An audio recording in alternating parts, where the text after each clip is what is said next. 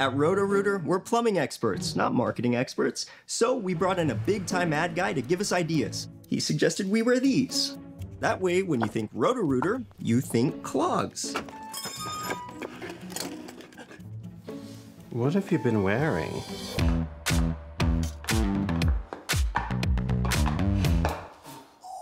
Yeah, we stuck with the jingle. Call Roto Rooter, that's the name, and away go troubles down the drain. Roto Rooter.